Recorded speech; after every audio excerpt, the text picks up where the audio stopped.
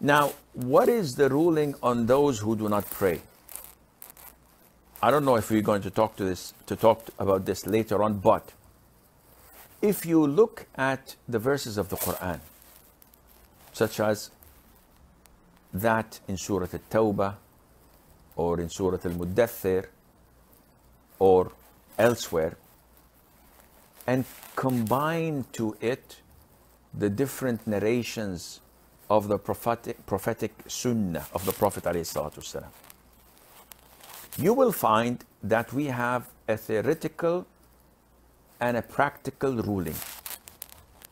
So the theoretical ruling is anyone who does not pray is a kafir. And this is established through the Quran as well as the Sunnah. The theoretical ruling means that I do not implement it on an individual. What does that mean? I do not come to a person and I say, uh, Do you pray? He says, No, I don't pray. So I say, Okay, 1 plus 1 equals 2.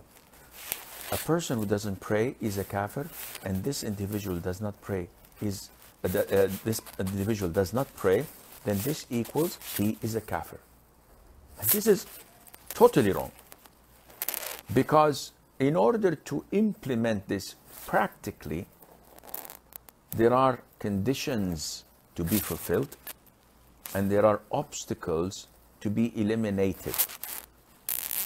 Without implementing this, we cannot say that an individual is a kafir. And this is why a lot of the sisters come to me and say, Sheikh, my husband abuses me, he batters me, he insults me, he doesn't provide for me. And I say, Yani, you have to weigh the consequences, weigh the pros and cons, because I don't want you to become um, angry or regretful after asking divorce. You have to be patient. I'll give him da'wah. So she, because she wants out of the marriage, she says, and he doesn't pray. So when I hear this and say, oh, what do you mean by he doesn't pray? He doesn't pray at all. She wants me to conclude that, oh, if he doesn't pray, then he's a kafir, then your marriage is void by default. People come to me and say, my father, he doesn't pray not a single prayer, and I follow the opinion that whoever does not pray is a kafir. So he died. What should I do with the wealth he left? Because I will not in- inherit him. All of this is wrong. The default that that individual is a Muslim. He claims to be a Muslim. He says he's a Muslim. All those around him acknowledge that he's a Muslim. The problem is, if you want to get him out of the fold of Islam, this is not for you and me. You have to fulfill the conditions that he's willing, that he's knowledgeable, that he's not misinterpreting, that is not confused of the ruling, because uh, that is not forced, for example. All of these conditions and obstacles must be eliminated and fulfilled at the same time for the conditions and eliminated for the obstacles. And this is usually done by a panel of judges who would sit with the individual and say, Akhi, you don't pray. Say, yeah, yeah, I don't pray. I believe it's mandatory, but I don't pray. No, you have to pray because this is mandatory. Allah obliged you to pray, blah, blah, blah. He says, I understand, but I'm not going to pray. Uh, now you're talking to a panel of judges. They say, put him in jail for three days. So every day, come and pray. He said, no, I believe in the obligation of prayer, but I don't want to pray.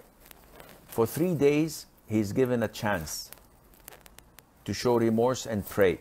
Yet he's arrogant and he is insisting not to pray.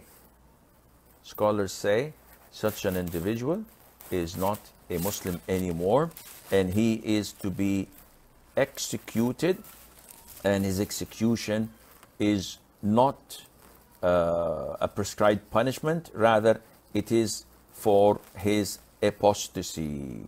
And he's treated as an, apost- an apostate, and he does not uh, uh, receive the funeral rites of a Muslim.